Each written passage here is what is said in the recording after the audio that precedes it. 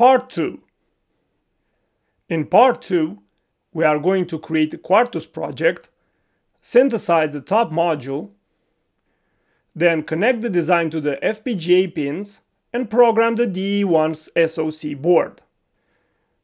Please remember that this project can be also implemented on other Intel FPGA boards. You should be able to customize the project depending on your board number of switches, LEDs or 7-segment display. In the end, on my DE1 SoC board I will be able to do the following. Let's say that A has the decimal value of 7 and B has a decimal value of 1. I should be able to see a 1000 on the LEDs, which is the value 8, and also the value 8 on the 7 segment display. Let's start part 2 of this tutorial with a challenge. For being able to successfully do this challenge, you first need to watch FPGA project number 1 or project number 2 where you learn how to implement a basic FPGA project. The challenge sounds like this. You need to create a new Quartus project where you instantiate a hex 7 segment decoder as a top module. After this, you connect the input ports with the switches. Next, you assign the output pins and synthesize. In the end, you need to program the FPGA and test your project. Let's see how our 7 segment display works on the board. Here we have four input switches that represent values between 0 and 15. These values are coded in binary. Let's see what happens when we press bit 1. Here we have a 3, 7, 15, 14, a 10, and a 9. You should play with this and see how it works on your board also. What's interesting is that this decoder can be used in many many examples and we are going to use it during our course to display different values on the 7 segment displays. Let's create now a new FPGA project that uses multiple Verilog files. First we need to open Quartus.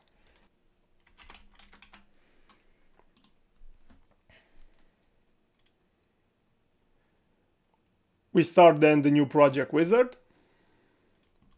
We click next. We change the working directory. Desktop. Send. Select folder. We write here project. Next. Empty project. Next. Now we browse for the Verilog files.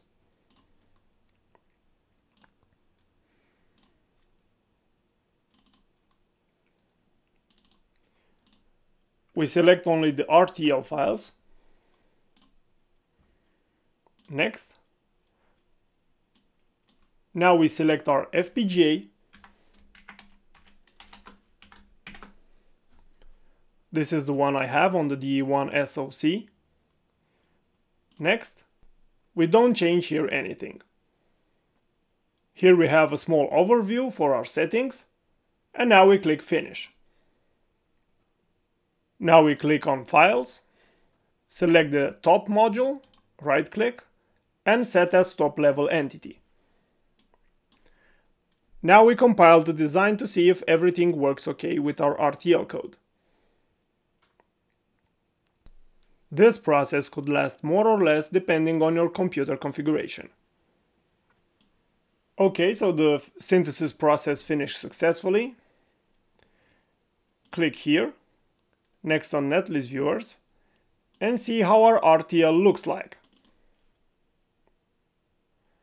So our top module has an instance of adder n-bit which is called add0 and an instance of hex 7 segment which is called dec0. If you click on this plus, you will see how the adder Verilog code was mapped to an already existing adder inside the FPGA. Because the adder is 4 bits wide, it added an extra 0 to our MSB. We have 3 bits and another bit of 0 creates a 4-bit bus.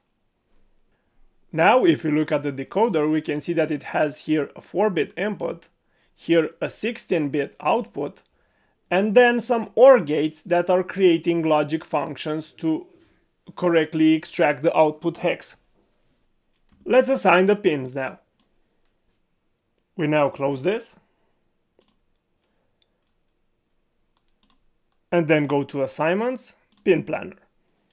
Here we see that we need to connect the A and B buses that have 3 bits each. Next, the output sum that goes to the LEDs and the 7-bit bus that goes to the 7-segment displays. If you have the same FPGA board as I do, then in the end your pins should look like this. You can pause the video and complete them by yourself, or you can download the complete project from ovisign.com. Either way, you can leave a like or a subscribe for me doing all this effort for you. Next we close this and we compile the design again. If we look here, we have some warnings, but for this simple project this doesn't matter. We will fix these warnings in future projects. Now we open the programmer, press auto detect, select this because this is my FPGA. Maybe you need to select something else here. And then we click yes for the override.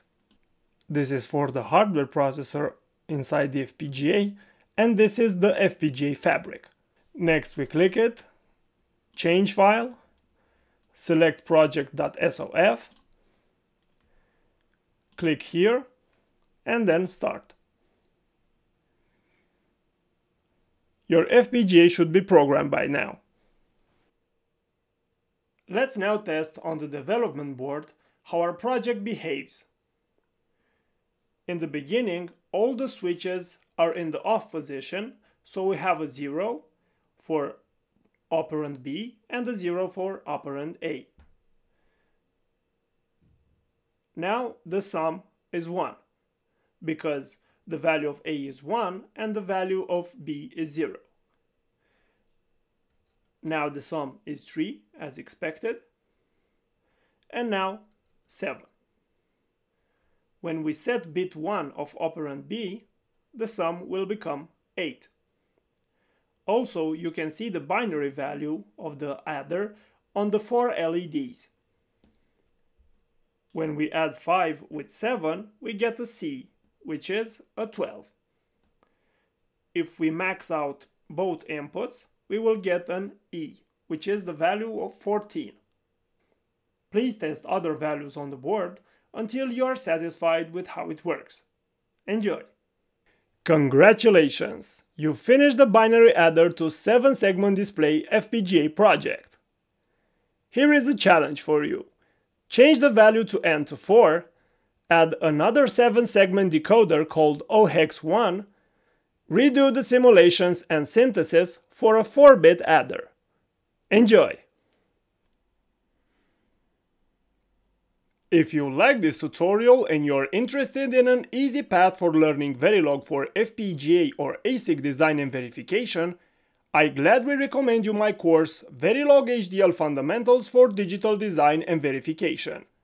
You can find the link in the video description. For more tutorials and support, you can join our Facebook community. Your strong Verilog foundation is only one click away.